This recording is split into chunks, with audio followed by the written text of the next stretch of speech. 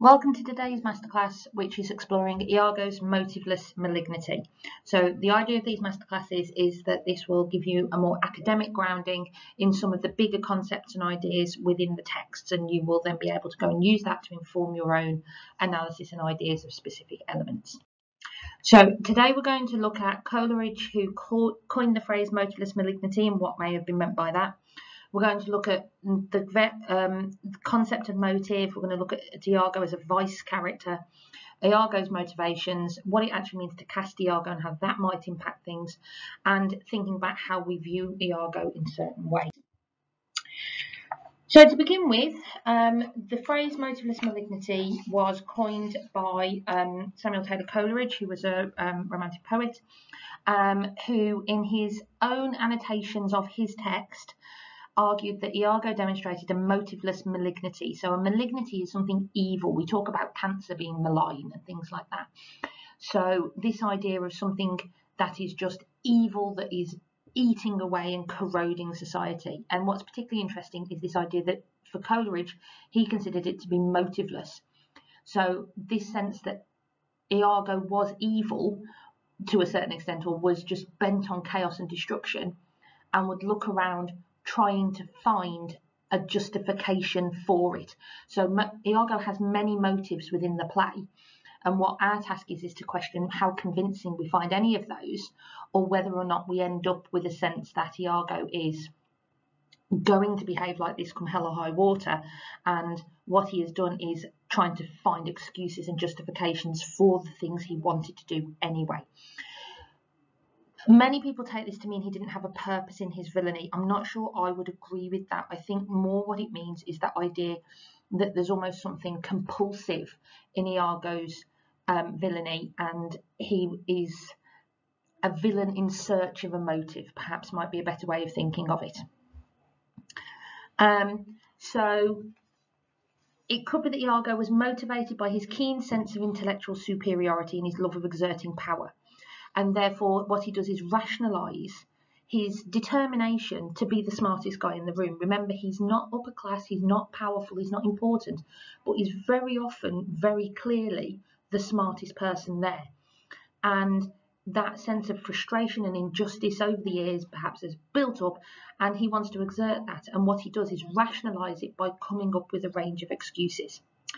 I think it's worth noting that Coleridge as I say, this was his notes on his copy of Othello for preparation for a lecture he was going to give.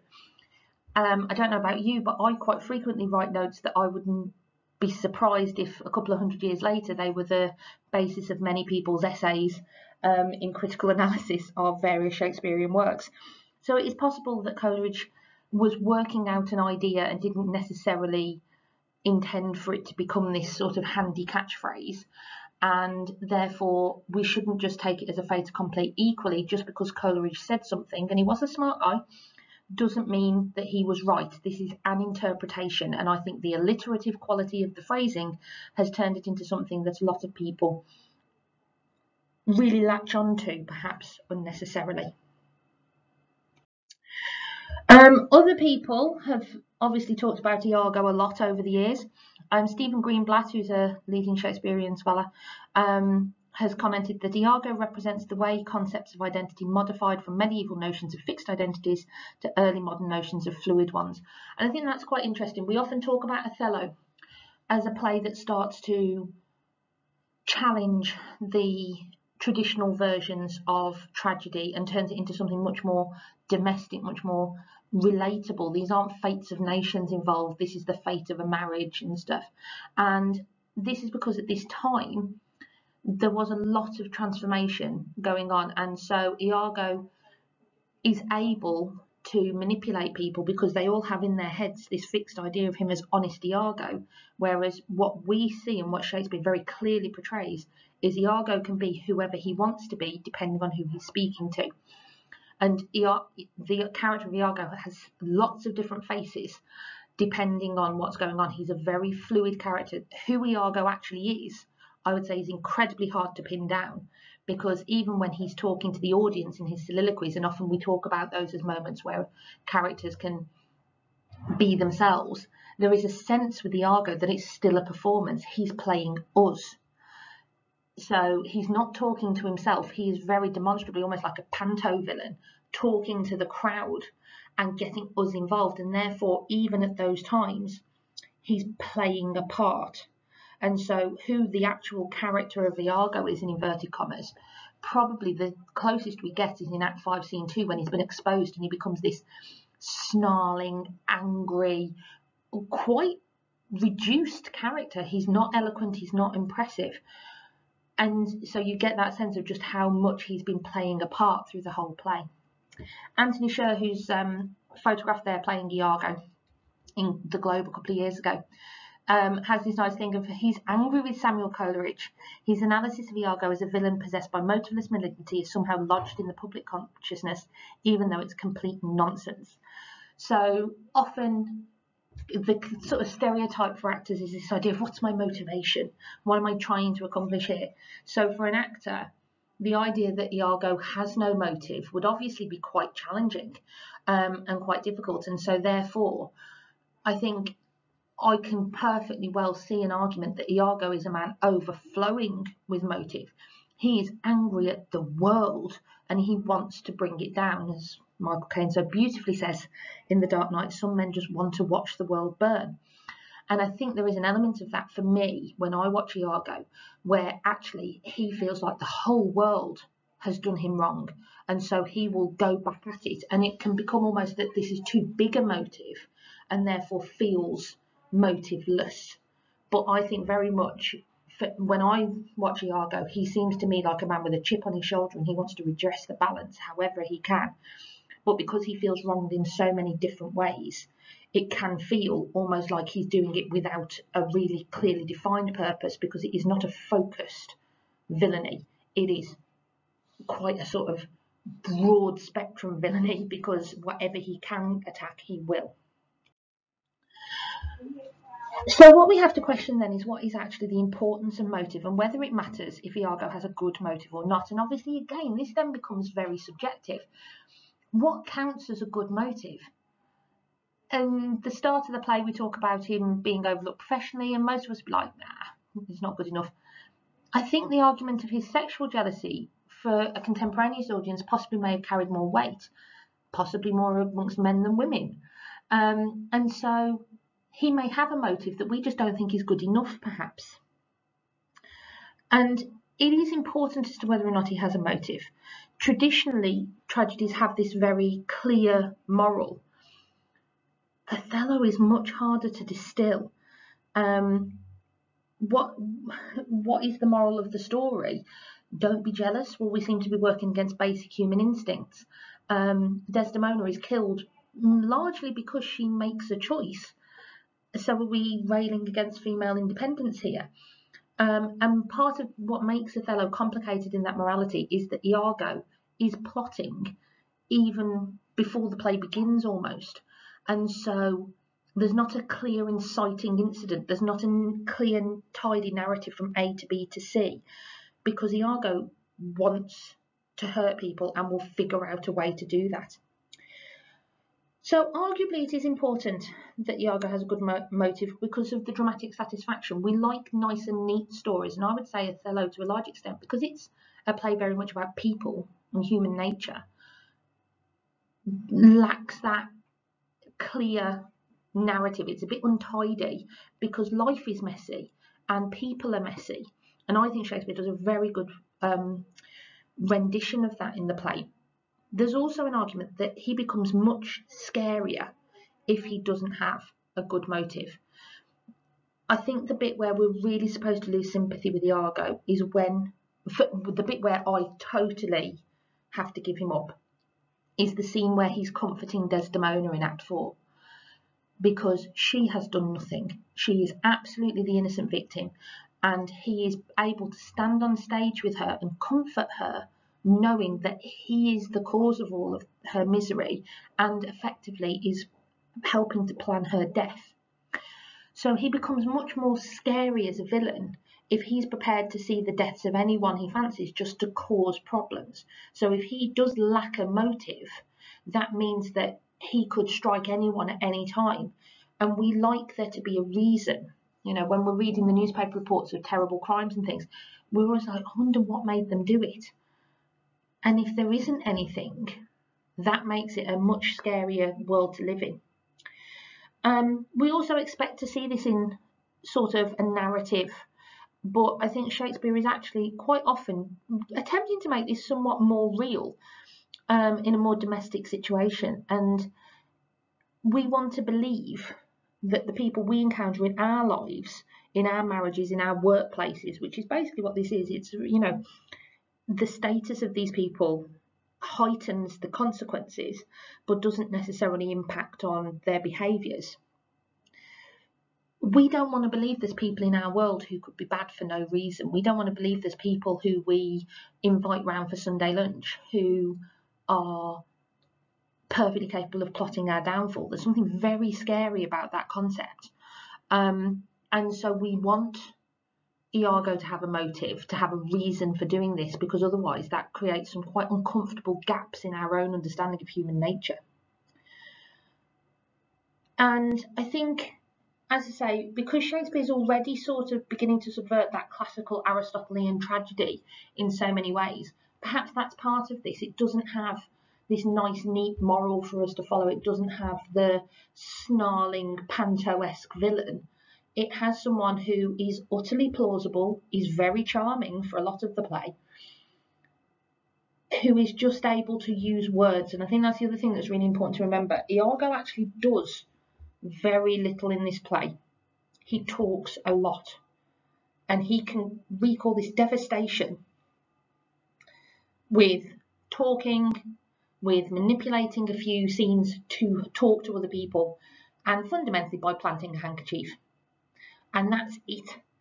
So that again confronts us with quite a disturbing view of reality if that is what is all that is needed to wreak so much havoc.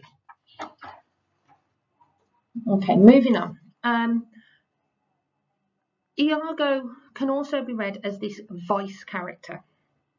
Um, so Vice was a popular stock character in medieval morality plays. So they were very simple plays which were travelled around the country to teach people um, moralistic and um, theological lessons. Um, and Vice was very popular. He was the bad guy. He was the one that everyone was like, yeah, wonderful. And almost invariably, the longest single part was on intimate terms with the audience and is not subject to the limitations of other characters. Sound familiar? Iago is very similar to that. You know, um, Iago is absolutely the flashiest character in this play and the one that for a long time is the most interesting. Um, and we almost end up with an argument that Iago is a metadramatic character. So almost that he's aware that he's weaving his inner story and his role in it and his way of manipulating the narrative. And he does that. He tells people stories. And he plays on the cultural stories that everyone knows. You know, everyone knows women can't be trusted. Everyone knows about Venetian women. Everyone knows, everyone knows. And he is able to manipulate that. He plays that part.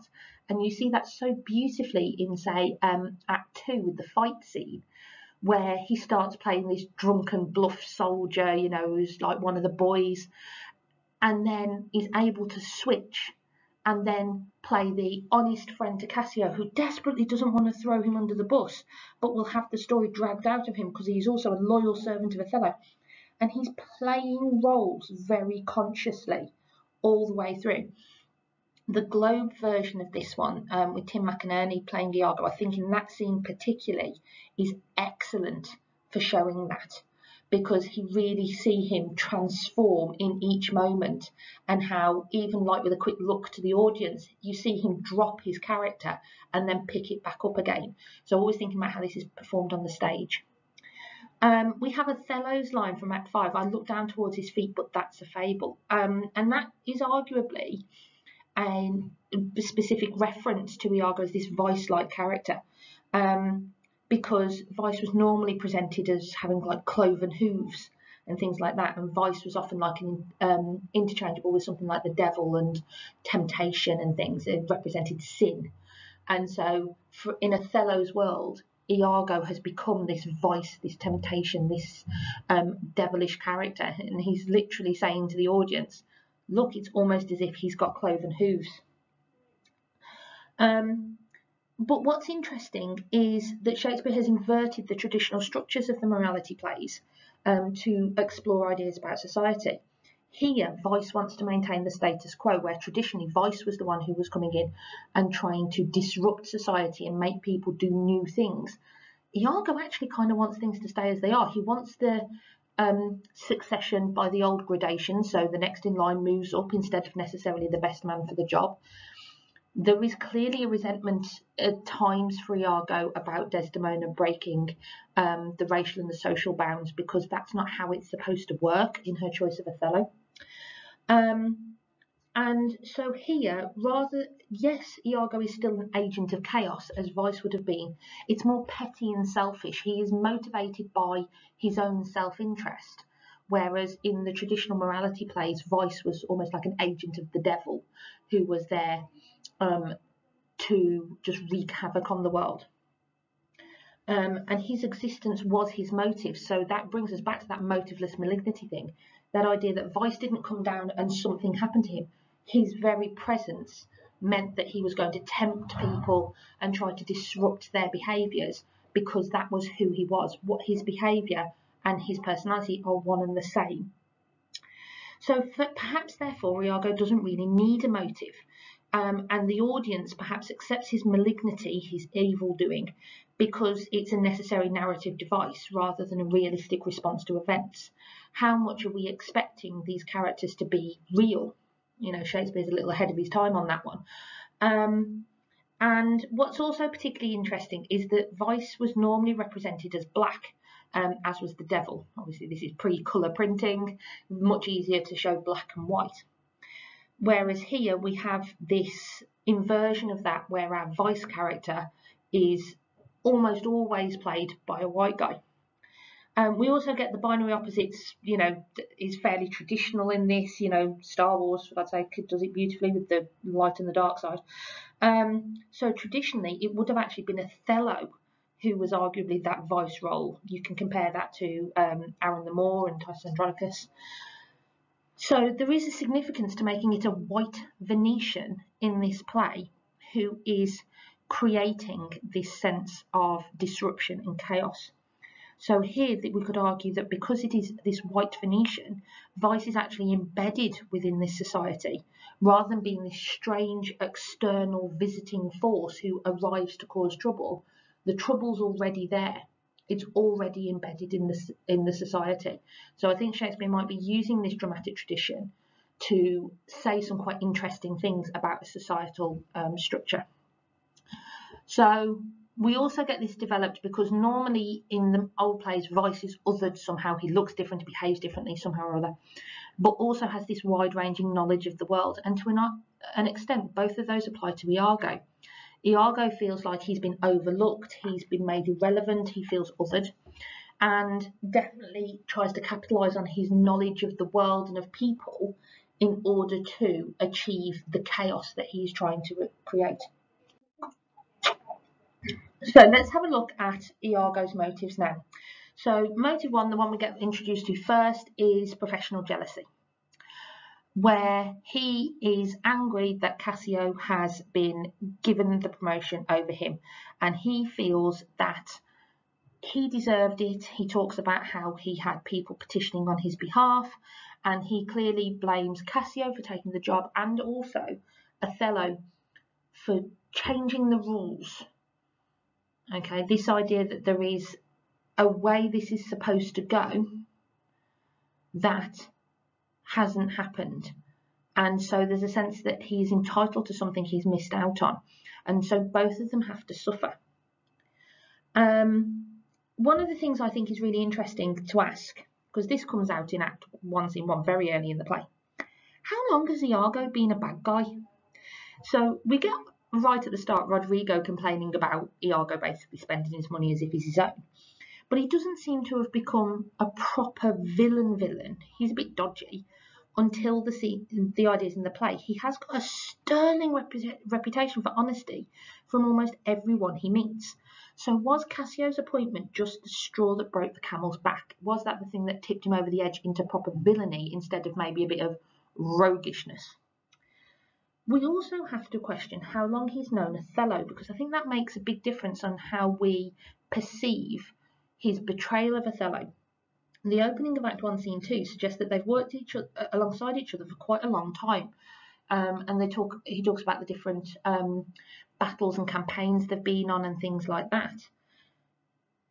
Which also has a knock on later on because if they've been if they've known each other for a long time, it makes Othello's trust in him over his new wife, who remember that he's had to woo in secret. He doesn't know Desdemona very well. He didn't have a five year engagement. This has all happened very quickly. It suddenly makes his trust in Iago a bit more plausible, which Iago would know and capitalise on. But then also, um, which has been argued by people from um, many times I got this from Crawford in 1916, who was writing and asked, Did Othello first betray Iago's trust by refusing to follow the military conventions of the next man in line? And then we have to question is that a good enough motivation? So, arguably, Othello broke the trust first. He overlooked Iago. And if he overlooked Iago, then Iago might feel like he is entitled for his revenge. Obviously, we have a proportionality issue there.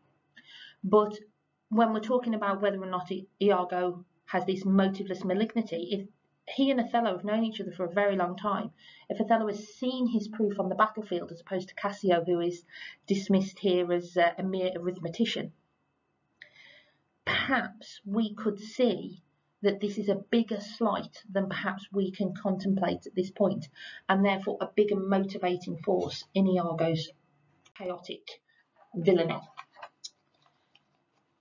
Then later in Act 1, we get the revelation that I hate them all, and it is thought abroad that twixt my sheets he has done my office.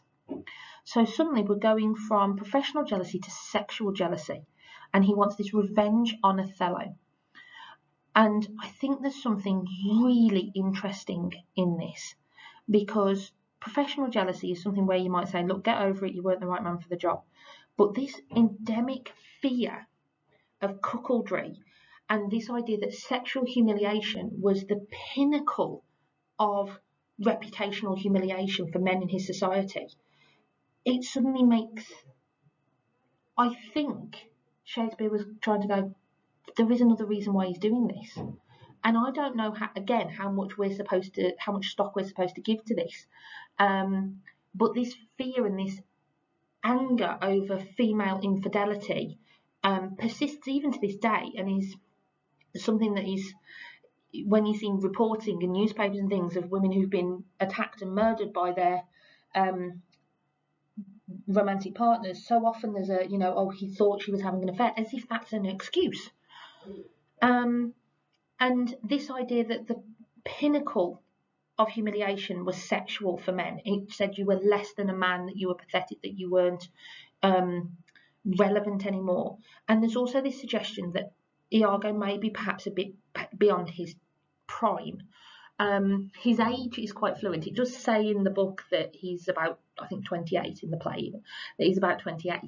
But um, I think that's very adaptable depending on who's playing him, and generally he's played older.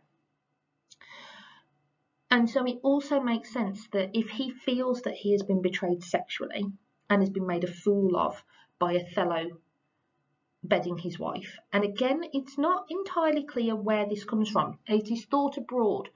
So is he more upset about the reputation, the rumour or whether or not it's true. Is it really rumoured abroad, or is this something Iago has sort of created in his own head? Um, but it does make sense that he would go like for like. This is very Old Testament, an eye for an eye. But suddenly we've got Desdemona in here where we're seeing already at the end of Act 1, he is perfectly happy to destroy a woman um, or to ruin a reputation, you know, Cassio's a proper man, let me see now, da, da, da. he's going, yeah, it's fine, I'll plot that Cassio and Desdemona are having an affair. Well, that would destroy Desdemona, even without the tragic outcomes of this play where she's murdered. Um, if she's branded as a cheating wife, that would absolutely destroy her in most societies at this point. And he's perfectly happy to do that to this very innocent woman who he doesn't even know to get his own revenge. So we get that selfishness and that pettiness coming through. Um, and so I think there is some really interesting bits in this. And even whether or not he believes it's true, it's also worth noting at this point that he is not, in, there's no indication that he's necessarily expecting people to die. Um, he is a man who's been consumed with jealousy. He isn't planning to kill anyone. His plan is to make them ridiculous and reduce them to his level and make them see the punishment that he's lived with. Um, it's the Othello who brings the violence and the sense of murderous rage into this in Act 3. Iago goes along with it, don't get me wrong, but again, at this point, it still seems more he's determined to create chaos than the bloodbath that we get at the end of the play. And then we move on to a couple of odd little bits in um, to do with the sense of sexual jealousy with Cassio. Um, increasingly, as I study this play, I am unconvinced about this. So, towards the end of this um, soliloquy from Act 2, um, he talks, I'll have our Michael Cassio on the hip, abuse him to the Moor in the rank garb, for I fear Cassio in my nightcap too. Make the Moor thank me, love me, and reward me for making him egregiously an ass. So, firstly, I think there's his full determination. What he wants to do is make is humiliate the Moor. He doesn't want him to die. He wants him to be a figure of fun, which is what Iago thinks he is to other people if his wife has been um, playing around behind his back. But this idea here that for I fear Cassio with my nightcap too, the more versions of this I've seen, it's played about 50-50 from the ones I've been able to find as to whether or not he is saying, oh, I think Cassio's been sleeping with Emilia as well, or whether it's almost like he's working out a plan and like almost practicing him being an ally. So as if he's rehearsing when he's going to um, reveal this to Othello, and then they say, "Oh yeah, well uh, Cassio's got a reputation because I well, I think he might have been off with my wife as well," and whether or not that's part of him rehearsing what he's going to say um, is quite complicated. And again, I think that comes down to the drama and the way it's performed on the stage. We also get this line earlier on. Um, now I do love her too, not out of absolute lust, though peradventure I stand accounting for as great a sin but partly led to die at my revenge, for that I do suspect the lusty Moor hath leaped into my seat. Um, so suddenly we've got this idea of he is somewhat sexually unfaithful. He's declaring his love for Desdemona. Um, and he's saying, you know, don't get me wrong, I really do fancy her, but also I'd really like to get one over on Othello. So even his sexual appetites are sort of dominated by Othello and this playing into this very destructive stereotype of this sexualized black man who is going to steal your women. Um, but there's also this perhaps jealousy of Othello's ability to seduce a young, desirable woman when um, Iago is a long married man. Um, and this frustration again of him being past his prime, his life passing him by. And also, we get that exposure of the double standard where he seems almost happy where he could be even with him wife for wife. So he's going, well, if I can bed Desdemona, then I'll know that I've got one over on Othello. So he's allowed to sleep around, but not Emilia. Um, but also the idea of Desdemona is purely a tool in his jealousy um, regarding Othello. And so you get this complexity of this character and this difficulty in where exactly we're supposed to fall on this. Um, and we have to question how far the audience can follow all of these new motives. Every time he talks to us, there's a new justification for what he's doing, a new rationality. And at some point, we have to start going, hold on, why is it you're doing this? Too many motives becomes as suspicious as none at all. And we go along with Iago because he's funny, he's highly entertaining, he talks to us, he's formed that relationship with us but Shakespeare increasingly demonstrates that he can't be trusted and that he is quite irrational. And it almost makes us complicit in the devastation that this dangerous character is wreaking because he's telling us everything he's planning to do and then we let him do it. And we know these aren't good enough reasons. We know that the motivations are pretty slim, but still, because he's funny and because he's entertaining, he causes the most interest, we sort of go along. And the comedy of the initial scenes is already beginning to give way to tragedy with us as co-conspirators. And so Shakespeare is very carefully bringing his audience in. We almost become part of this play, almost more than in any other of his, um, except in maybe the Falstaff ones, because Iago brings us in. Iago makes us part of it in a way that we're not normally. And then we get to this incredibly uncomfortable comment in Act 5. So this is just before this, the fight between Roderigo and Cassio, which Iago has engineered. And at this point, we should hopefully, our sympathies with Iago should be rupturing. As I say, mine disappear in Act 4 when he's um, comforting Desdemona. But I think here, suddenly we get a really ugly side to Iago and that honesty starts to really come through in a way where the justifications of earlier in the play suddenly become very suspect when this is how he's justifying this behaviour. So when he's just trying to destroy people's reputations, he's evoking professional and sexual jealousy and things that we can all perhaps relate to. And we might go, oh, well, we wouldn't go that far, but I'll kind of see where he's coming from. Here, he says, Live Roderigo, he calls me to a restitution large of gold and jewels I have bobbed from him as gifts to Desdemona. It must not be. So saying, I'm going to have to kill, Roderigo's going to have to die because Otherwise, he's going to expose the fact I've been stealing from him. If Cassio do remain, he hath a daily beauty in his life that makes me ugly. So he's jealous because Cassio's fitter than he is and gets more girls. Suddenly, these become very base, reductive, disagreeable motives. These are motives that are calculated to be unsympathetic for the audience. And so he has this resolution that now, whether he kill Cassio or Cassio him or each do kill the other, each way makes my gain. So he's suddenly talking about the deaths of men in this very casual way that just however it's going to suit him, which really should be alienating to the audience. And at this point, we really should be seeing the ugliness of this character who we've kind of encouraged and been entertained by and allowed to do all of these things. And then suddenly we're confronted with this really uncomfortable reality because we need to be entirely alienated from him and have that true villainy revealed without any ambiguity so that hurtling into the final scene we're in no doubt of just how appalling he is and therefore that anything he has done is a truly villainous act.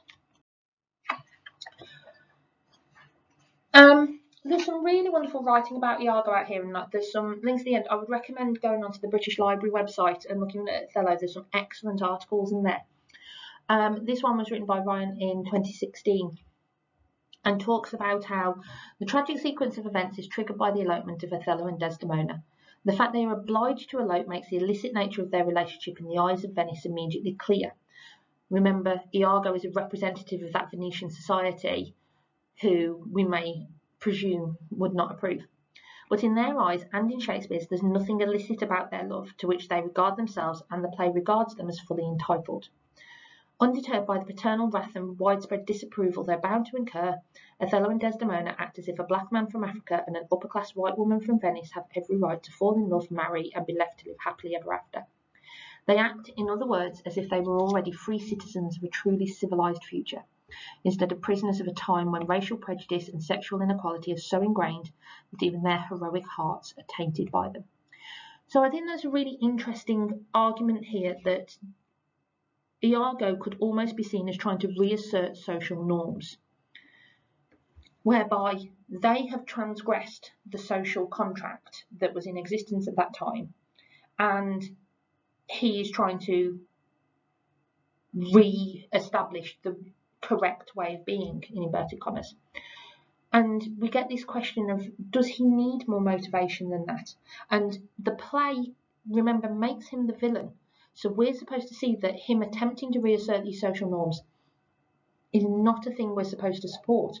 And so we're left with that uncomfortable challenge to our attitudes where we might, particularly at the time it was performing, there may be people in that audience who are kind of agreeing that they don't think this is okay, but that puts them on the side of the villains. And no one wants to think of themselves as the villain. So Shakespeare is really forcing the audience to confront their own prejudices in that. So Othello and Desdemona find unleashed upon them in the shape of Iago this venomous rage of a society whose foundations are rocked by the mere fact of their marriage. So we have to question whether or not Iago represents general society, and we compare that to perhaps the Duke's attitudes and his seeming to not be that concerned about this uh, marriage, or is he just representing the worst in society? And is representing the worst in society enough to cause such damage? Now, 10 years ago, I might have said no, but looking around us today, it's possible that we can see how the worst in society, when given a voice and given an outlet, can create far more havoc than we might have expected. And then we get onto this idea of the social contract for his job. So as X being passed over for promotion by the Moor in favour of Cassio and contempt of loyal service and the right of precedence of old gradation wasn't outrageous and insulting enough, Othello and Desdemona have made a mockery of the principles of social, sexual, and racial hierarchy, on which Iago's very identity and sense of self-worth depend. So he hatches a plot and tells a tale designed to put them in their place, to turn the divine Desdemona into the subtle whore he thinks every woman really is, and to turn the noble, eloquent Othello into a deranged wife-killer, who proves the racist's worst fears fully justified. So this goes back to what I was saying earlier about the idea that Iago arguably sees himself in the story and he doesn't like the changes and wants to put everyone back in their place. And his motives seem his um, plans seem to do that. Again whether or not this is conscious or whether this is something that's quite of is a different thing. Um, but we get this sense that he is as we would refer to today the model of male entitlement. He deserves a wife who is dutiful, but he deserves his own sexual liberation. He deserves the job because he was the next one waiting. He feels he's earned Cassio's place purely because of the old gradation where each second stood heir to the first. But we then get Othello with this more modern idea of promoting who he thinks is the right person for the job rather than just knocking on the, the door of the next one in line. So Othello explicitly rejects these social conventions by promoting Cassio. And so arguably, Iago is trying to teach him a lesson and reassert the social inertia by saying, no, no, no, you follow the rules of our society or you don't get to play. And then again, when you add the racial um, film over that, it creates an extra impression of exactly how powerful the embedded, entrenched attitudes were and how hard it may be to start overturning them. Remember, this play comes from the early 1600s. These are still conversations we're having today, 400 years later. The Iago that we see at the end of the play in Act 5, Scene 2 is very different to an Iago that we see at any other point. Um, and you get this where they have captured him, they're calling him this demi-devil, and Iago for the first time shuts up. Demand me nothing, what you know, you know. From this time forth, I never will speak a word. Which is true. And I think it's really interesting that Shakespeare denies both the characters on stage and his audience a proper explanation. We're used to that villain monologue, you know, you get it in detective stories and all sorts of things where you go, it's a fair cop, I will now explain myself. Iago refuses to do that. He's not going to give you that narratively satisfying conclusion of justifying himself. He clearly feels actions speak louder than words and that he's said enough. And I think there's something really powerful in that, where Iago, who has been by far and away the most chatty um, participant in this entire play, suddenly shuts down because words are power. And the only power he can assert at this point is a refusal to satisfy their curiosity. And I think particularly that phrase, what you know, you know, where it suggests each of them knows what they did to upset him and they know the part they played, so he shouldn't have to explain himself. And if he's simply acting as part of the male psyche of this frustrated ambition and, je- and sexual jealousy, then you could interpret that to mean they already know why he did it because almost the argument might be that they would have done the same. Whether or not that's true, Iago clearly thinks that may be true. And the transformation in this character at this point, look at this compared to Act 1 and 2, where he's taking pains to explain himself, certainly to us, and he's so eloquent and charming. And then he becomes this mute, malevolent force on the stage at the very end and refuses to give that satisfying conclusion to everyone. So we could argue that Iago is in fact far from motiveless and malign. He could be argued to be a mirror image of the other men in the play, exploiting their fears of women's sexuality, social class, changing conventions and race, where he is considers himself almost better than them because he's prepared to act in a way that they will not. And again, it might come down to we argue that he seems motiveless because we would like a better motivation than I just don't like how the world works right now. Because fundamentally, with Iago, he feels the world owes him something and he's going to do what he can to get that debt paid.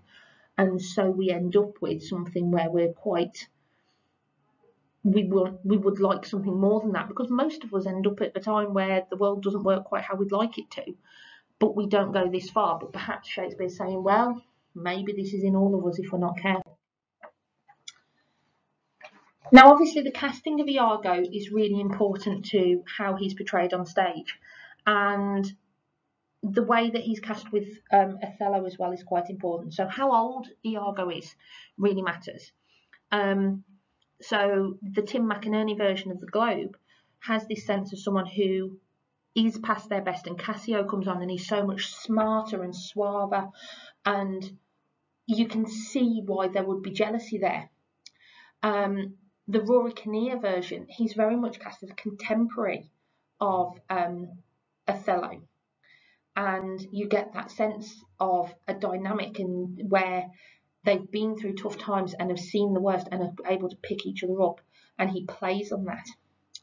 Um, we also have to ask about race. Obviously, go and read the Hugh Quarshie stuff that he's written. Um, again, that's on the British Library website, where he's talked about what really convinced him to play Othello, which was a role he had been reluctant to play, was the casting of a black Iago, or part of what convinced him to do it. Because suddenly you then get this quite complex idea, and a lot of people argue about whether or not Iago is racist. Personally, for the actual text, for me, I think Iago just capitalizes on whatever he can. So he uses racism when the character he's talking to, that's a lever that will work with them. So he uses it with Roderigo and Brabantio, but he uses different things elsewhere. However, if we're looking at this as the idea that he is angry about the social conventions having been broken, then arguably there is a racist aspect to that.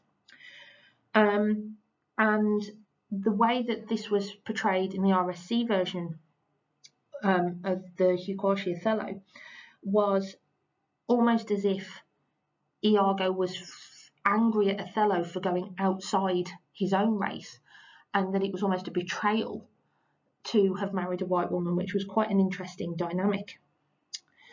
Um, the interpretation of this character goes far beyond the words on the page. The way that he behaves towards Othello, the way that he behaves on stage, is really key. The Rory Kinnear one, I think, is superb because it's got this simmering anger all the way through. So the scene when they first arrive in Cyprus and he's sort of having that chat with Desdemona and the jokes about sort of various bawdy things. In that version, you can see that it's creating discomfort, and he actually sort of has to remember to play a part because it's like he was getting a bit too honest for a second. Whereas the Tim McInnerny one is constantly winking to the audience and showing the jokes and the laughs that he's having at people's expense. So always talk about Iago as a three-dimensional character. He is not simply the words he says, it's how he behaves, how he interacts, and the way that he behaves towards other cast members and the audience. Now, what's also key is that Iago keeps developing. So Thompson wrote in 2017. It is instructive to note that Othello does not exist in one historical moment or one historical context alone. It does not merely come out of and reflect the early 17th century. Rather, it is a play whose stagings, readings, and meanings have mutated and evolved over time. The Othello that we read or see in the 21st century is not the same that Shakespeare's audience read or saw in early modern England, or that slave owners saw in the 19th century America, or that Afrikaners saw in apartheid South Africa. So I think, again, this is really important because Othello is about people and these quite universal, timeless attitudes of who gets to fall in love with who and how society is supposed to be set up and things each society brings their own values and their own issues to the play. Um, and so that means Iago is always going to be interpreted differently. So Coleridge's motiveless malignity that he saw a couple of hundred years ago may be just as reasonable as my interpretation of Iago as this epitome of male entitlement and sexual jealousy and the destructive force of that, because that's so relevant in our society today. Whereas when Coleridge is writing in the Romantic period and you just see the world changing around you so rapidly and people being so angry at how the world was changing and mutating, you can see how it would seem much more undirected because the concept of male entitlement and toxic masculinity was still a couple of hundred years away. So one view can be perfectly reasonable because Othello is a play that changes that each audience brings its own context to. So, as promised, these are some things you ought to go and um, read or watch. Um, there's also an excellent podcast series from Shakespeare's Globe Theatre. The latest series has been all about race and Shakespeare and things like that, which plays quite interestingly into our discussion of um, Othello and Iago.